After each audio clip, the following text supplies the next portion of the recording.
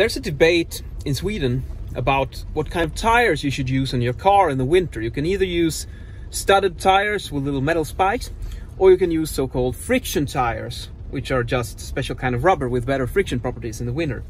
Now, the studded tires are a bit worse for the environment because they, yeah, they release some kind of particles that go up into the air and you breathe them and then you die prematurely. And so it's said, but just take a look at this. These are the road conditions today. And without the studs on your car here, let's see, I'm, I'm driving like 10 kilometers an hour and now we go full panic brake. Absolutely full panic.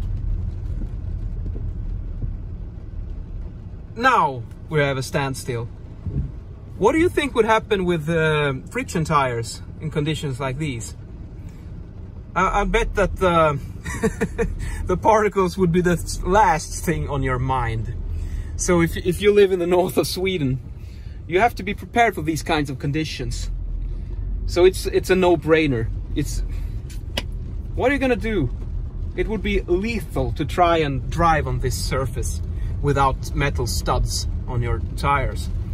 So now I'm using brand new, really high quality tires on a four-wheel drive car. But still, the car is just, it's it's going like like this back and to, I can feel it going strafing to the sides back and forth because it's so insanely low friction today. It must be as close to zero as you can go probably.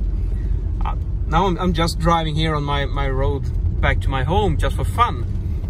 But I mean, to go out on a high-speed road like this, it's you shouldn't do it.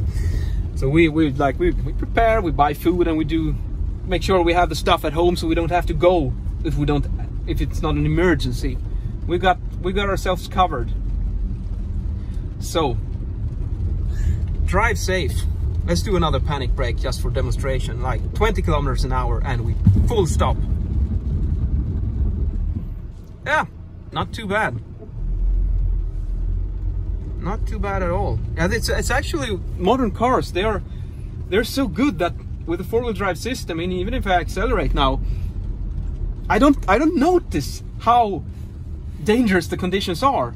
Not until I'm when I'm going to stop. That's when it gets really exciting. Like when I'm going to do a, a left turn in this junction, for instance.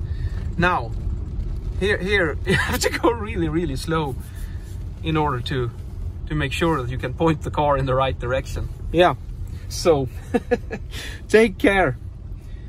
And don't bash people who drive studded tires because that's just plain stupid. We want to we want to survive and get home back safe. We we really want to do that. Have a nice evening. Cheers